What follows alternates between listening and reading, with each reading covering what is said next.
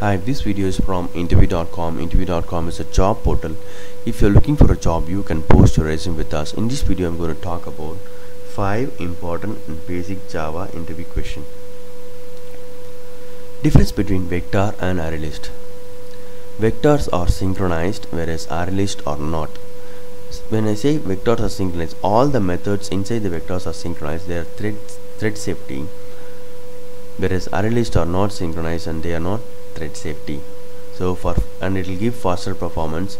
Since synchronized means there will be a performance hit because other thread the uh, second thread has to wait. So there will be a performance hit. Difference between class and objects. Class is a template using which objects are created in memory. Class class talks about how an object should be.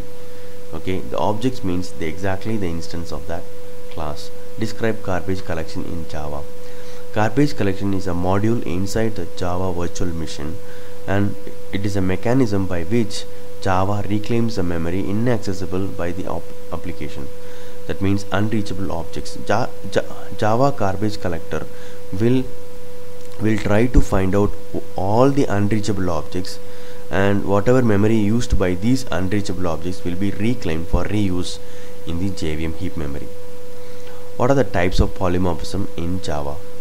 Static polymorphism and runtime polymorphism. Static is like function loading, overloading. I know during the compilation time what I'm going to overload. Whereas runtime depends on the object that is injected, the functions are called. So we will come to know at the runtime different ways of using threads there are two ways you can extend the thread class and implement the runnable interface the recommendation is to implement the runnable interface because java does not support multiple inheritance so you should not lose the opportunity in future to extend from a different class so if you extend it